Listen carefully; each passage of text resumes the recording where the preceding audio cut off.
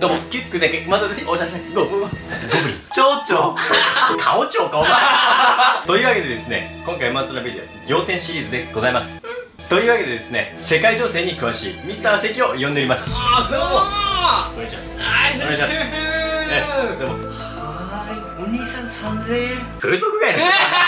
今回の仰天シリーズは240万人の赤ちゃんを救った神の血を持つ男が存在するというわけでですね今回その神の血を持つ男について触れていきたいと思います。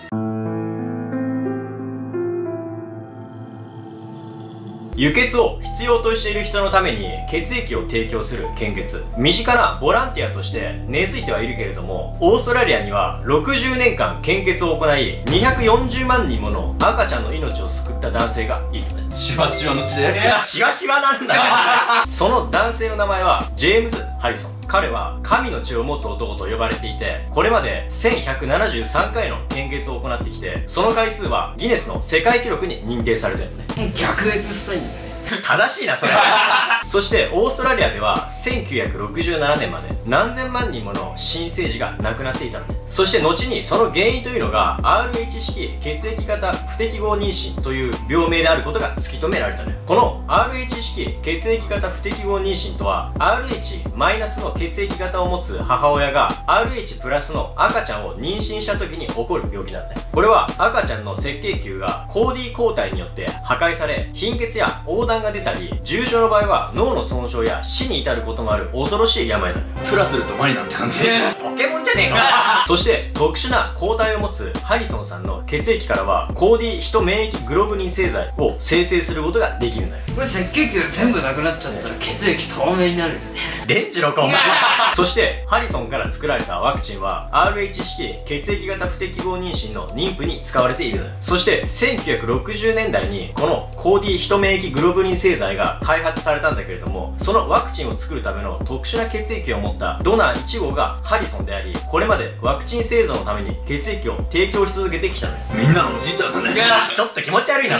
そして現在オーストラリアで製造されているコーディは全てジェームズ1人の血液から採取されたものなのよああじゃあもうオーストラリアに住んでる人はみんなねハリソンさんと血がつながってるってことだよね。家族じゃねえか。そしてそんなジェームズは1951年に14歳の時片方の肺を摘出したんだね左どっち。肺マニアか そして手術が終わった数日後父親はジェームズに手術の様子を語って聞かせたらしく私の手術では13個もの輸血バッグが使われたと言われました。無名の人々の血液のおかげで命が繋がったのだと。父親自身ドナー登録をしていたのですが私も大きくなったら輸血ドナーになろうと決心したんですと語ったよね。もうえブレンドってことだねコーヒーかお前そうもしかするとこの時の手術の輸血によって神の血が作られたと思われているのね。そしてハリソンは毎週のように500から 800ml の献血を行ってきておりこれまでに行われた献血は右腕から1162回左腕からが10回なのね。右腕ないっしょ。枯れてんだろもうそして81歳のハリソンは1173回目にあたる生涯最後の献血をタウンホールドナーセンターで行ったのね。ええ穴だらけだよね。空気通るだろう。これはドナーとなる年齢制限をすでに超えていたハリソンの健康を守るため医療機関が今回の献血が最後という判断を行ったの。よそして最後の献血にはハリソン由来のワクチンによって命を救われた赤ちゃんの母親たちが駆けつけたらしい。よねある意味やないかい今更いいだろしかしそんなジェームズは1000回以上献血を行っているものの実は今まで一度も注射針が腕を刺す瞬間を見たことがないらしくあのチクッという感覚が嫌なんです。血を見るのも嫌いだと語ったよね。いや一回はあるだろ。難しくなるだろ。メ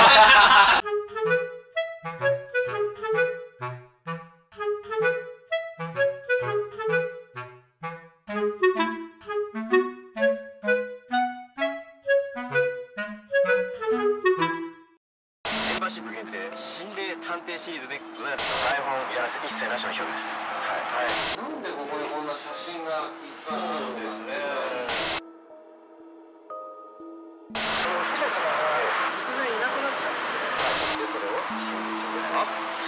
straight.